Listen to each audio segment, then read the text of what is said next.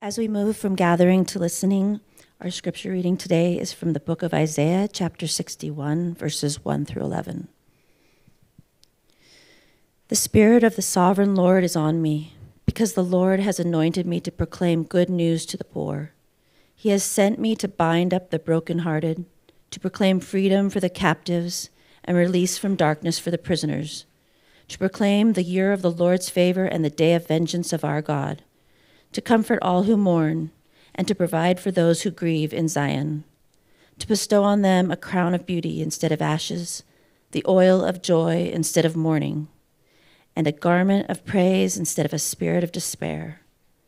They will be called oaks of righteousness, a planting of the Lord for the display of his splendor.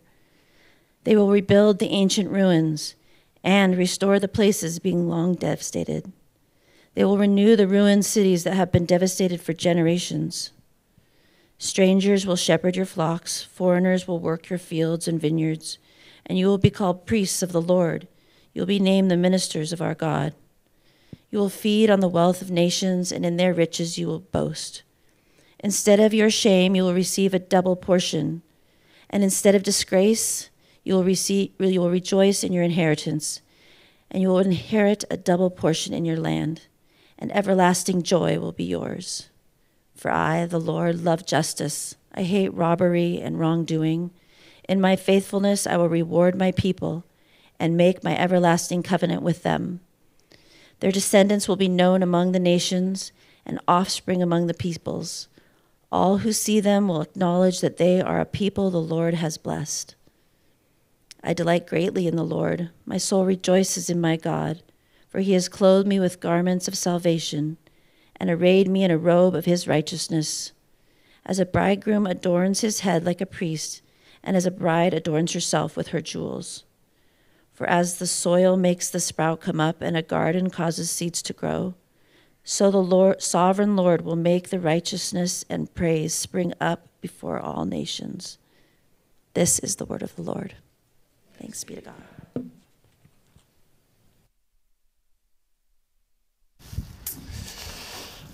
Wow, what a passage. Uh, good morning, Antioch. Can we just pause and pray uh, in response to that? Ah, gracious God, we thank you for the gift of your word. We thank you for speaking to us, for giving shape to our lives. Um, thank you for speaking such a powerful word to us in the midst of all that is broken in this world and in our own lives. Um, expand our vision of you, we pray. In Jesus' name, amen. So the other day I was shampooing my head uh, because we bald guys actually use shampoo. And some of you guys are like, we do?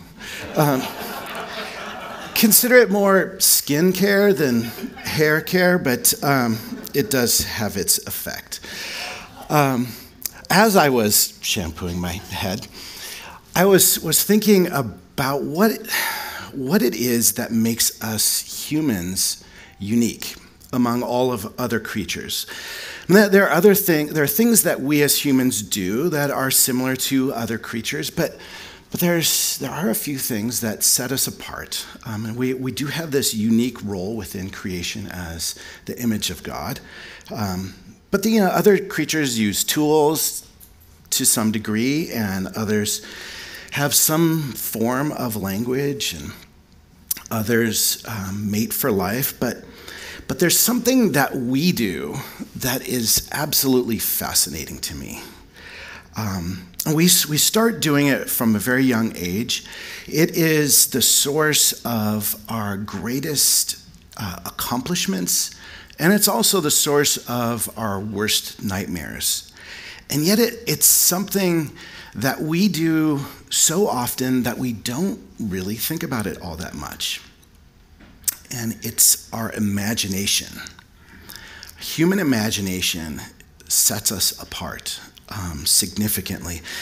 My mom tried to raise me without toy guns, but pretty much every stick that I found somehow became a rifle or a pistol, as much as she tried to dissuade me of that. You and I have the ability to see inside our minds things that are not physically present. Things that are not physically present. We can see inside our minds.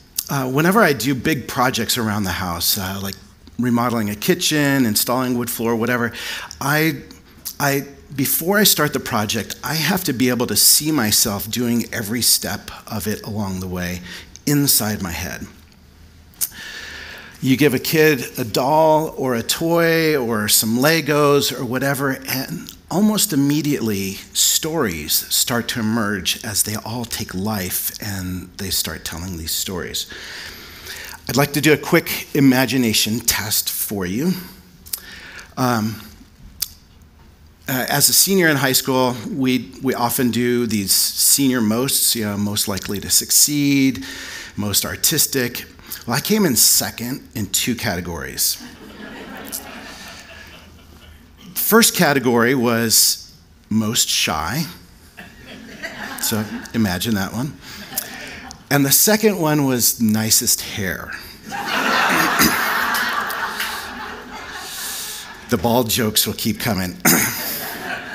but by the way, um, Norse mythology, I really was really into it when I was a kid, and I loved Thor before all the Marvel stuff. But now my favorite is Balder. all right. Back to what I was saying before. So it, it's, it's truly amazing what we have with these imaginations. Uh, when I was doing hospice work uh, for a while, there was a patient that I would, would visit who um, would just be slumped in her wheelchair when I came to visit. But as soon as, as I said hi, she would, would um, come to life again. And we'd, we'd go sit, and she would, um, she would talk about, we, we kind of played house together. It was, she would talk about all of the food that she was making and ask me how I was enjoying it. And so I just played along. But she was able to see in her mind things that were not physically present. Imagination is also the source of our greatest nightmares. I don't know what the monster under your bed was, but for some reason mine was cobras, and I had this ability to jump far from my bed in the mornings to avoid getting caught in the back of my heel by a cobra in Los Angeles. It's also the source of our anxieties, our anxieties about things that have not yet happened, but also, strangely, anxieties about things that didn't happen in the past. When I was a pastor, there was a man in our congregation named Al. Al was a World War II veteran. And there was, Al told me about this, this time when he was uh, in the Pacific Theater, and they'd been told that um, there was very likely an assault by uh, the Japanese Navy on the island that he was, was on. And so he, he was, was told to, to dig in in the beach, and so he dug in and he made this, this cozy little pillbox uh, for himself. And then he realized there was no way out of it and he had created this death trap for himself. Well, fortunately, uh, there was no attack, but 60 years later, Al was still reliving this moment of fear as if it was still possible for him to suffer because of it. Uh, Al was particularly good at anxiety. He told me he was an expert at building bridges over rivers that don't exist, which I think is a great image, also an exercise in imagination. In the hospital uh, where I work as a chaplain, I deal with people who have out of control um, anxieties. Um, they know that things aren't good because they're there at the hospital. Um, but their, their imaginations get loose and they imagine things getting worse and worse and worse for themselves. so a nurse calls for a chaplain. And I often talk with them about our imaginations, how amazing of a gift they are to us, and yet how tricksy they can be to us. How we can play games with them. Because our imaginations play games with us, we can actually play games with them. So if you struggle with that, I'd be glad to talk with you about that afterwards. There are things that we can do to play with our imaginations. But all of our greatest inventions, all of our most beautiful works of art, all of our romances, all of our hope, and all of our fears. They all arise from our imaginations, this, this blessing that is also a curse. On top of, of this, our imaginations, as unique as they seem to each one of us, they're not completely our own. So we're going to play a little game. I'm going to say a phrase, and you are all going to respond with the first thing that comes to your mind and say it out loud. Are you ready to play? All right. The happiest place on earth? Well done. All right, let's try another. Taylor?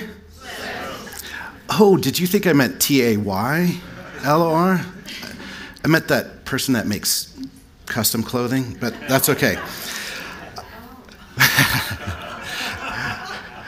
so interesting.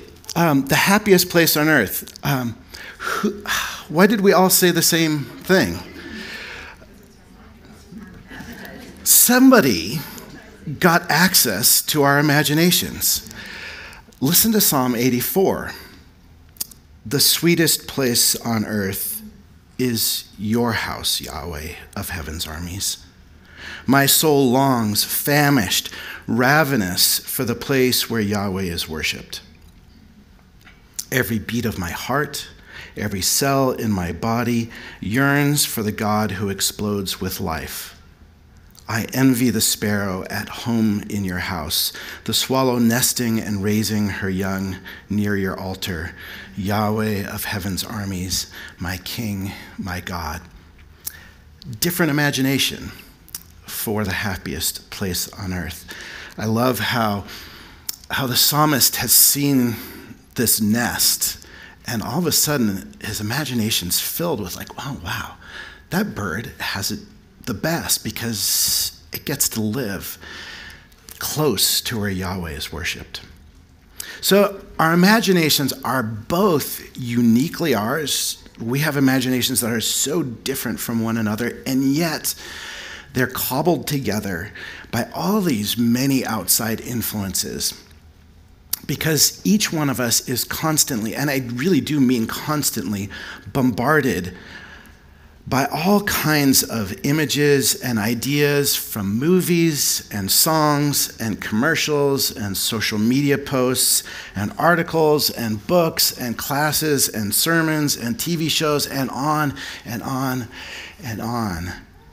And they're all building inside of us imaginations of what the world is like, of who we are of what it means to be human, of who God is, if there is one, or if there are many, what our bodies ought to look like, how we ought to spend our money and our time, what the good life is like, why things are wrong with the world, who the good guys are and who the bad guys are, what truth is, what justice is.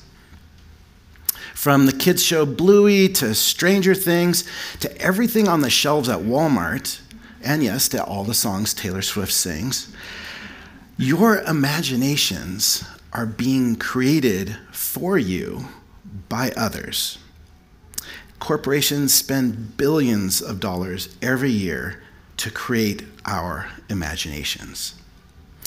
So, the reason why we sit here in rows of chairs week after week isn't so much to get tips on how to live the best kind of life, the reason above all other reasons that we gather around the Word of God and hear somebody read it to us out loud, and then hear somebody else open it up for us is simply this to create inside of us a biblical imagination.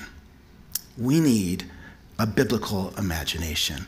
Inside it, in, in this world of crazy and contradictory imaginations, we need a biblical imagination.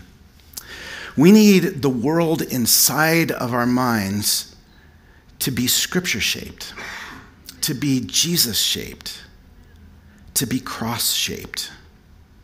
And this is the reason why our church encourages personal Bible reading. Not because it helps us ascend some spiritual ladder, but because we need to be taking in the scriptures on our own on a regular basis. And it doesn't matter how much or how little, we just, there just needs to be some continual diet. Um, this is a reason why we encourage something like trips to the Holy Land. Um, I went to Israel when I was uh, 11, and it's amazing how, ever since my whole life, I've had this ability to see many of the places that I read in my mind as I'm reading the scriptures. So, when that becomes possible again, I encourage you to do that. This is why we have a church library just outside over here. It's not, it's not huge, but the books have been specifically picked for the sake of building inside us a Christian biblical imagination. That's why we have a book of the month to shape this in us. All of this contributes to a biblical imagination. Eugene Peterson used to say when you hear the word biblical, don't think of a book, think of a world. A world that is deeply suffused with God, where a consumerist American imagination tells us to follow your heart. A biblical imagination hears Jesus say, Take up your cross and follow me. Our culture tells me that the God that I ought to bow down to is the unholy trinity of my wants, my needs, and my feelings, whereas a biblical imagination tells me that my life is baptized into the Father and the Son and the Holy Spirit. Okay, that's a long introduction to a short sermon. Finally, Isaiah 61. Isaiah 61 requires of us a biblical imagination, but it also helps build into us a biblical imagination as we read and meditate on it. Isaiah 61 was initially written uh, to a group of people who had experienced war up close and personal. And much of, of this chapter references um, the devastation of war that was not only a part of their past experience, but was a part of their current reality because they lived among the devastation, the ruins of war. Uh, even though the fighting was past, the devastation and destruction remained, and it dominated their imaginations because it was around them. It, it, it created their, their imaginations about God, about themselves, and the rest of the world. The first time that I read through the passage in preparation for this a few weeks ago, I realized that I was reading all the war imagery as metaphor. Uh, metaphors are good. I mean, it's the reason why Star Wars fans say, metaphors be with you. or something like that.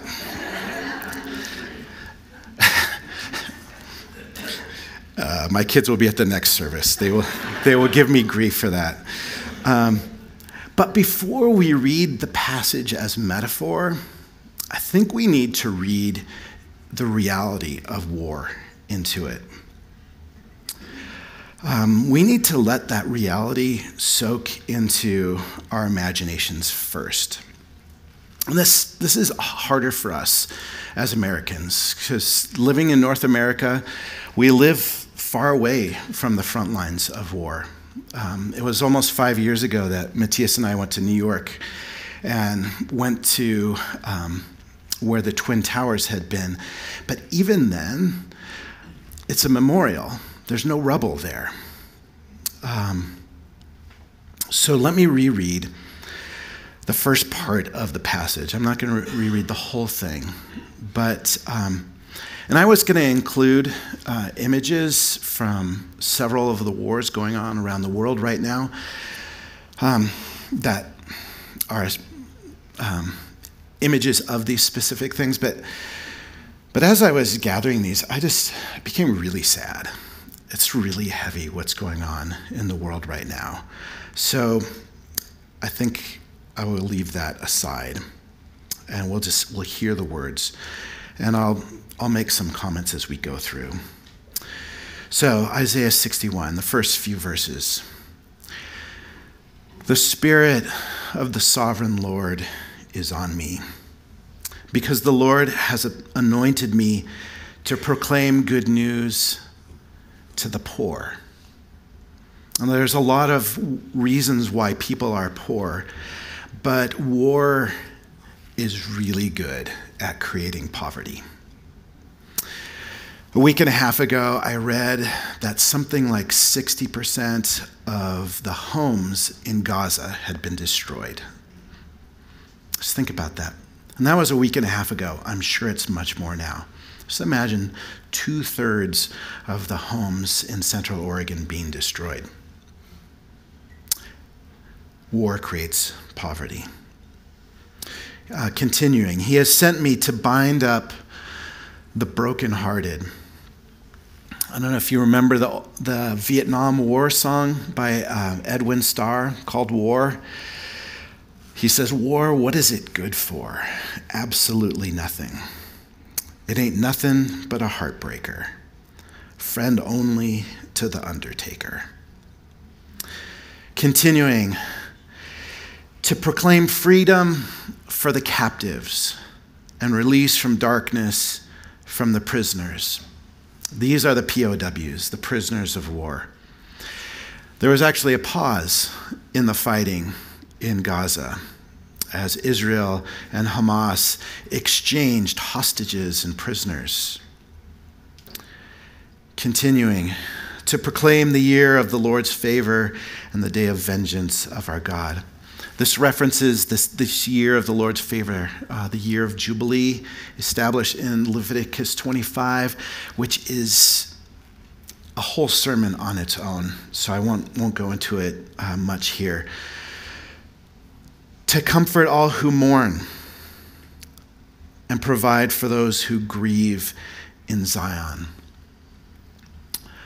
War is the source of so much grief. If you Google war, you'll see a bunch of soldiers first, but then you'll see pictures of women and children crying. Continuing to bestow on them a crown of beauty instead of ashes, the oil of joy instead of mourning, and a garment of praise instead of a spirit of despair. In the ancient Near East, when, when loved ones died or there was a national catastrophe like war, people would gather ashes from the place where they cooked and they would pour them on their head. So the image of a crown of beauty instead of ashes on the head. And they would stop putting olive oil on their head and their hair, if they had it, hence the oil of joy instead of mourning, and they would rip their clothes, hence a garment of praise instead of a spirit of despair. They will be called oaks of righteousness, a planting of the Lord for the display of his splendor. War is devastating to the environment. So we have these oaks instead of trees cut down. And then finally, they will rebuild the ancient ruins and restore places long devastated. They will renew the ruined cities that have been devastated for generations. Everywhere around them, there were the ruins of war, constant reminders, influencing their imaginations, their eyes telling their hearts. Okay, so I've emphasized the imagery of war in this passage, but, but did you notice what Isaiah was doing? How he was turning things around. So, just a little aside.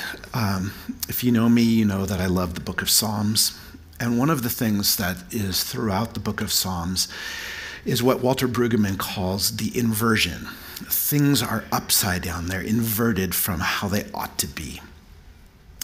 And when the world around us gets inverted, so too does our relationship with God, and so too do the words that we speak to God. So, if all things were as they ought to be, the basic language, language that we would speak would be praise and thanksgiving. That would be with all of our relationships, because all things are good and all things are beautiful as they were intended to be. And so would be our, our words with God. But what happens when things get turned upside down, the way we talk with God also gets turned upside down. And so we end up telling God to do things. That's not how we should speak with God. But when things are upside down, we say things like, God, can you get busy? Can you take care of this thing? Uh, in fact, uh, in the Lord's Prayer, which we said earlier today, um, I don't know if you noticed, but almost the entire prayer is imperative, it's command language. Give us this day our daily bread because we need it. Forgive us um, even your kingdom come is imperative language. So when things get upside down, so too does our relationship with God. And what Isaiah is doing is he's turning things back right side up.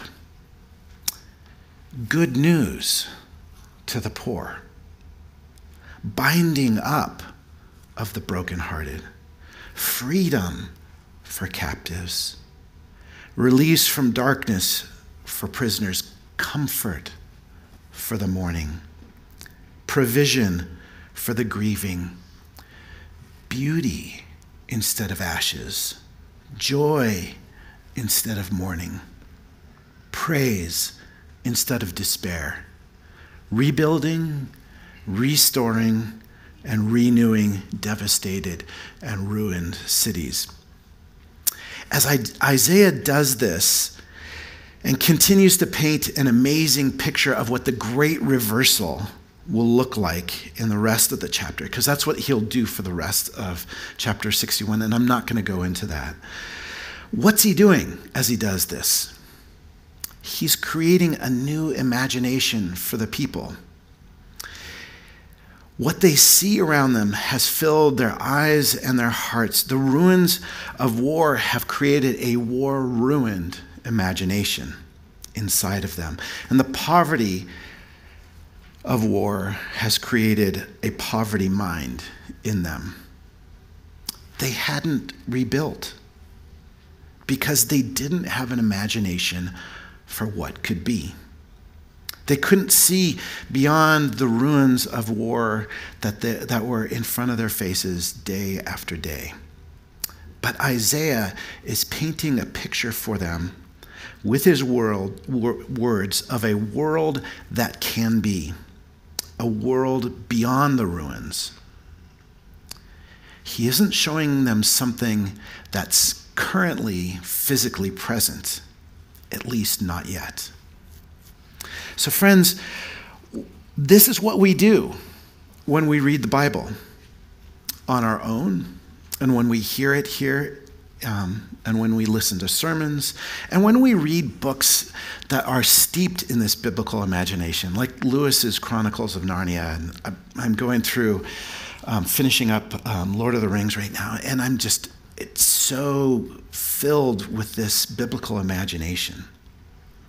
It's what you and I need to do so much Otherwise, we will fall for left wing and right wing conspiracy theories. We will fall for prosperity gospels. We will fall for do it yourself spiritualities.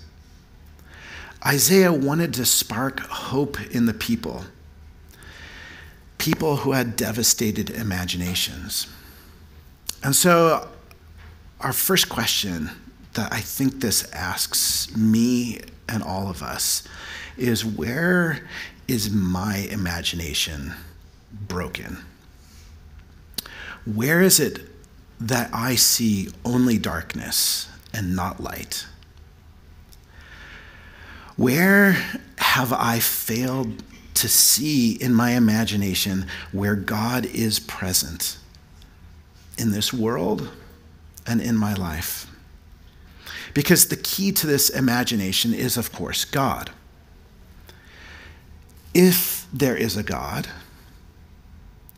if this God is active in the world, if this God has a goal that he's striving toward, and if this God's goal is good, if this God is inviting us, you and me, to participate in this good goal, and if this God cannot be stopped, then this is a powerful imagination to embrace, to foster, to live into. It is one um, that can stand up against all, all sorts of adversity. It can persevere. It's one that can stand against just the, the paltry self centered, follow your heart imaginations of our culture, which are so weak and fall apart so quickly. It is one that will not get co opted by political parties or flash in the pan movements. It is one that ignores the flavor of the month, holding out for the year of the Lord's favor, for the year of Jubilee when wrong is turned to right when the tears are wiped away from the eyes, when justice rolls down as waters and righteousness as a mighty stream. And Martin Luther King Jr. got that in his biblical imagination from Isaiah uh, from Amos chapter 5. Just listen to his speeches. They are filled with a biblical imagination. So friends, a biblical imagination tells us this that against everything our eyes tell us, that baby born in a manger is actually the king of the world. Against everything our eyes tell us, that man hanging on the cross is actually the way, the truth, and the life. Against everything that our eyes tell us, the empty tomb is a down payment on the resurrection to come. Against everything that our eyes tell us, the bits of bread and the cup that we dip them into are appetizers to a feast beyond all feasts. Against everything that our eyes tell us, this awkward group of people sitting around you are in fact the glorious children of God. They are the community of the Spirit. They are an outpost of heaven right here in Bend, Oregon. Friends, we need to see with different eyes. For the kingdom of God is, in fact, breaking in all around us at this very moment if we only have the imagination to see it. To see beyond the ruins around us, to see beyond the ruins in our own lives, to see our unstoppable God at work and beckoning each one of us to join him in it. Pray with me.